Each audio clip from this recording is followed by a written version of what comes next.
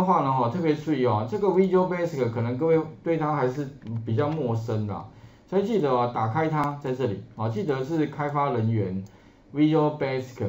那开的方式的话，记得就是点开来，好，然后呢，Module 一点两下，这是上个礼拜的程式，Module 二点开来，它就是我们刚刚写的程式。那当然你要关的话，直接从那个呃右上角这边有里里面这个叉叉关掉。关掉的话就关掉模组二，那再关掉这个就模组一，哦，那现在的话就是全部都没开，哦，所以特别注意哦，如果你要开就这边点两下，Module 一就打开了，那如果你再开 Module 二，那就把 Module 一盖掉了，哦，而其实 Module 一没有不见，它其实是在这里，你再点两下，哎，它又打开了，所以其实这样可以切换，哎，或者是说你可以从视窗里面这边也可以切换，这边也可以切，有没有？切过来，切过去。哦，可以从这边做做切换，甚至你也可以什么水平，哎，两边有没有？可以垂直，有没有？然后可以什么？哎，可以重叠，哦，然后可以排列，哦，反正或者是把它最大化了，这个最大化它就会被盖住，哈，大概是这样子。所以请各位慢慢要习惯，哈，这个呃我们的 Visual Basic 它的一个相关的环境，哦，啊，打开就是从模组哦，所以以后写程式，哈。记得呢，都是写在模组里面。哦，那另外的话，之前还有同学遇到什么样的问题？就是哈，因为只要看到那个叉叉就会手痒，哦，就想说把它关掉。那关掉之后呢，哈，就遇到一个问题了。什么问题呢？哎，什么东西都不见了，他就很紧张，哇，完蛋了，就感觉好像悲剧哈就发生了。所以怎么办呢？它现在等关掉之后会重开打开就恢复了，其实不会的哈。不过呢，以后如果你 假设不小心把它关掉，没关系，你可以检视里面呢，只要找到什么，记得哈，我们刚刚的这一个区块，它叫做什么呢？它叫做专案总管。这个区块呢叫做属性视窗。那这个区块哈，右边这边的话呢，其实就城市嘛。所以你可以看，哎，这边应该有什么？哎，城市啊，城市码在这里。OK，所以基本上哈，我们在那个画面上看到的东西啊，其实都可以在检视里面找到。那最重要是所所谓的那个专案总管了，所以把专案总管打开，这边又有了。OK，那你把 Module 一打开，这样就 OK 的啦。那另外就是那个属性视窗需不需要？其实目前不需要了。如果所以啊，你假设了哈。你觉得它太占空间，你可以先关掉没关系，哦，然后这边有 Module 一、Module 二，这样就 OK 了哈。所以可能慢慢的大家哈，还是就跟他啊培养感情一下吧哈，习惯他慢慢就熟悉了，也就不太会觉得很害怕，好像少一个什么多个什么哈，不用太担心。然后，诶字大小我觉得蛮重要，工具选项。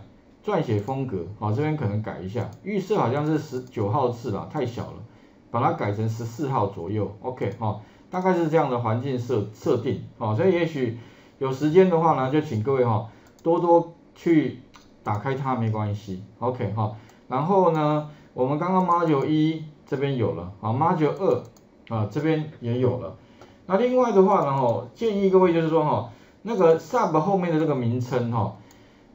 尽量不要一样，哦，尽量不要一样，也就是这边有清除对哈，啊这边的话就叫做门号清除，OK，哦，那如果我说呢，假如呢你用一样的名称会怎么样？其实也不会怎么样啊，只是说哈，你会发现哦，哎这边有个清除的哈，然后这边也有个清除，那可能会造成一个问题，就是它你按下这个按下这个原来的这个清除哈，本来按下它。它会去执行什么？执行那个我们 Module 一里面的清除。可是哈，你看，你看哦，你按下它之后，你会发现它会跳出错误。哎，发现不正确的名称清除。哎，为什么会跳这个？因为哈，它这个意思是说哈，发现其实它这个讯讯息提示应该不正确，应该是说，哎，我发现两个清除。哎，那请问一下，你是要要哪一个清除？因为你会发现哦，Module 一里面有清除。Module 二里面也有清除，到底你这个清除是按下，到底你要我执行是哪一个清除，我搞不清楚了，所以它会跳错误讯息出来，OK，所以如果你要避免这个错误的话，哈，就很简单嘛，就是记得哈，刚刚的第二个清除哈，你就不要叫清除，你就叫什么叫门号清除，这样就 OK 了哦。再不然的话了哈，另外一个方法，反正你就想老师我那我一定要一样的名称可不可以哦？其实也是可以，只是麻烦一点。你将来如果说这个按下去不要错误的话，那很简单，按右键有没有？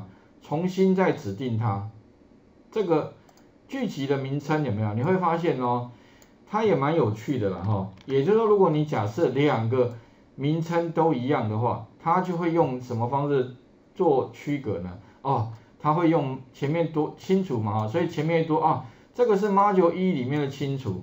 这个是 Module 二里面的清除，哦，那你要哪一个你就点点给他就可以了。啊，我要是 Module 一的清除，哦，所以哦，你变成说呢，假如名称一样哦，你就要重新再去选，到底是 Module 一的清除还是 Module 二。所以你选的正确之后啊，你再去执行它，哎，你会发现就正正常了。OK，好，好，那如果我把它改回来，我看一下，如果假设我把它改成叫门号清啊，清这个没有重复的话。现在执行应该也是 OK 了，因为反正它就是只是多了一个 Module 一的清除了哈，这多一个这个其实不影响，哦，来大概跟各位讲一下哈，不过慢慢习惯了哈，这个环境如果你习惯之后，那将来你就可以方便自己去写你要写的程式。那刚刚的话，主要程式就是在云端白板上面的第十四页这里，OK，这就是这个，哎，第十四页。但是呢，可能会有同学说，哎，老师，那问题来了，我们刚刚写现在只有执行啊，哦，哎，只有执行就是一个储存格，哎，那这样感觉好像没什么没什么用，哎，一个储存格，那如果说我今天要把它执行全部储存格的话，怎么做？哦，接下来的话哈，就要再学习一个所谓的呃回圈啊的这个。一一个设计了哈，也就是说呢，当然将来你要去做大量的这个处理的话，一定都会有重复处理的这个需求。那这个回圈呢，白话的意思就是帮你重复处理什么事情。那所以呢，我要跟他讲说，哦，呃，刚刚这个门号公式哦，我希望呢，帮我从第二列一直处理到第几列呢？Ctrl 向下到一百一十列，OK。第二列的第一栏，好，然后一直到一百零一列的这个一栏，哈，对，所以啊，其实意思是说啊，这边是一二嘛，哎，那如果我今天呢，请你在 for 回去这个什么呢，在门号上面再增加一个回所谓的回圈，那回圈的撰写方法很重要，那因为将来呢，VBA 最有效率的地方就是帮你处理重复的动作，那只是写的方法可能要记一下啊，for 所以开头一定是 for，for 回圈，那后面的话呢，增加一个变数叫 i，习惯我的列号都叫 i，哈，等于第二列到到的话就 to 一百零一列，也就是说 i 的值哦，它会从二一直变二三四五六一直到一百零一变动，然后 enter 两下，打一个 next，那这个所谓的 next 哈，其实指的就 next i 啦，意思说哈。我先产生二，next 之后的话就是三，next 之后就变四，next 之后就五，一直到一百零一停下来。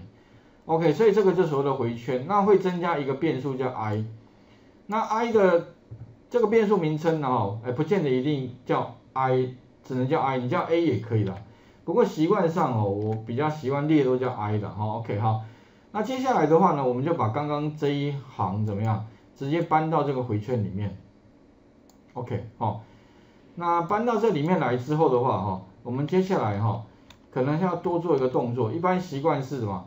把刚刚这一行按个 Tab 键，让它下一阶。下一阶做什么呢？哈，哎，这个意思说了，我刚刚这一行哈，要在这个回圈里面帮我执行。那我现在只要先改一个地方哦，你会发现哦，它就会跑出效果，把 Sales 的第几列呢？第二列改成第 i 列，哎，那这个时候它会变成什么样？它会先 for i 嘛，先先输出什么？输出一二储存格，哦，先把清这个先清掉，这边空的哈。所以如果现在执行它的话，你会发现哦，它会得到什么结果？哎，有没有发现？一执行呢，哇，它就帮我从第二、第三、第四一直到一百零一，全部都输出了。OK，你想说，哎，为什么它全部都帮我输出了哦？我刚刚讲过，因为哈，for 回圈就是帮你把这个范围里面的值都产生了，也就是说啦，它会先把这个公式丢到一二储存格，再丢一三储存格。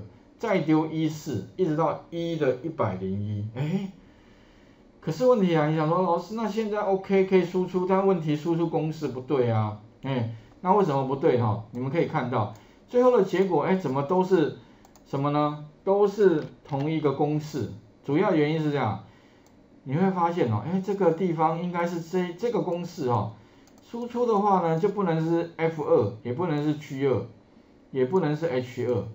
也就这三个哈，应该是什么？应该要变呢？哎，那可是问题来了，应该怎么变比较 OK 呢？那你可以看到哈，它理论上应该会随着什么？随着 i 的值去改变。也就是说呢，我这里面哈，应该要把什么了？把 f 二的二直接改成 i，这样就 OK 了。但是哈，哎，会有个问题，什么问题？如果你直接改 i 的话，你会发现哦，直接输出哦，假设我这样改哦，你会发现这公式错了。为什么错呢？最主要的原因你会发现哦，刚刚这个 i，哎，它放进来之后，哎，它居然变成 fi 的一个字了。所以呢，显然你就不能这样这样处理。那为什么不能这样处理啊？因为 i 它是一个变数，而且它是一个数字哦。那如果说我今天这一串是文字哈，你要把那个变数放在这一串文字当中的话，这个有点像是我们之前输入输入那个啊串接公式道理一样，就是说呢，你必须用串接符号把它串在中，你像这个 G 二啊，这个除除除人格，你就是一定要把它串在，啊串的方法哈，可能要稍微注意一下，这个也是。啊，VBA 里面相对比较不容易理解的，好，不过你们也许暂时不理解没关系，先大概知道一个简单的技巧，好，我大概说一下，如果你要把 i 放到这一串里面的话，记得哦，先把这一个这一串文字哈，先把它切开来，那切开来怎么切呢？它有头有尾，所以我在二的地方哈，先把它选起来，先两个双引号。这两个双引号其实意思说哦，我把它原来是一个一个文字变成两个文字切开来咯。那中间呢用什么东西串呢？用 and 符号串。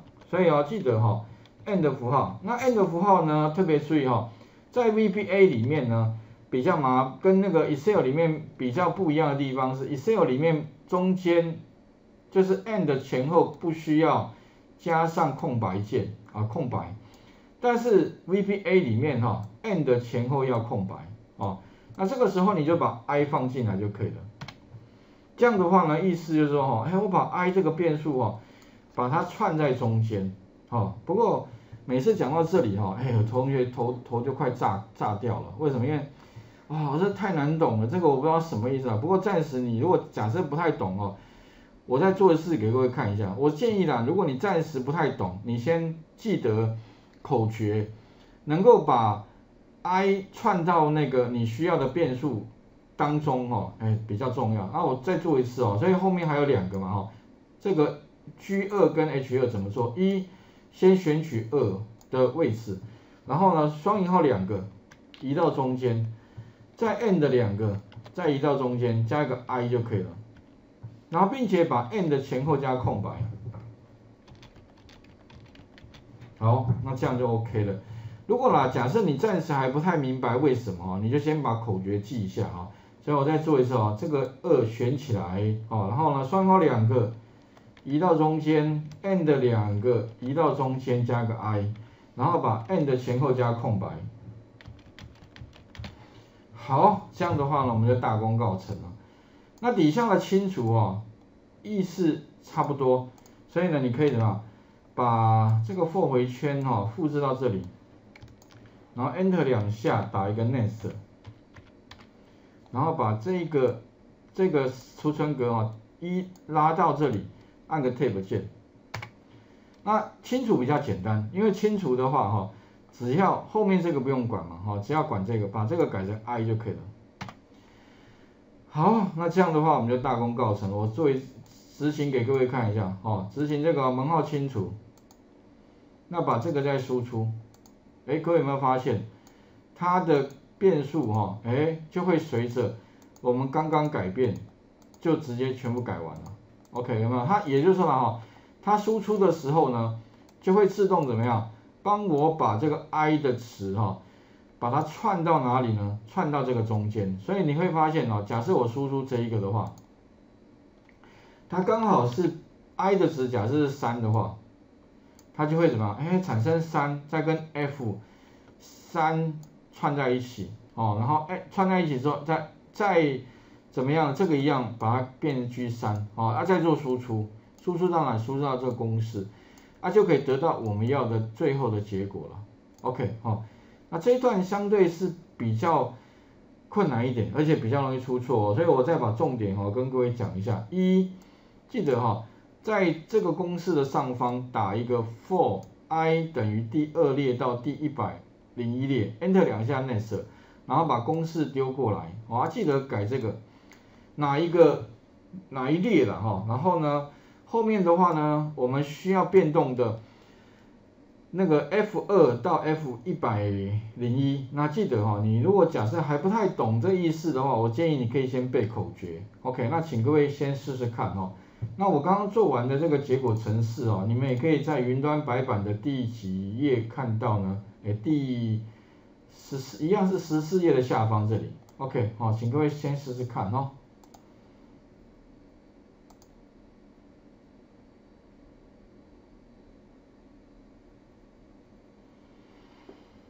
所以刚刚那个 module 一啊，module 一跟 module 二哈，这个不是点一下，是要点两下才能打开了，哦，这个可能注意一下，因为之前好像有同学遇到问题，他说老师为什么我点了它没有效啊？他因为他点一下，因为他点两下才对了，哈，OK 试试看哦。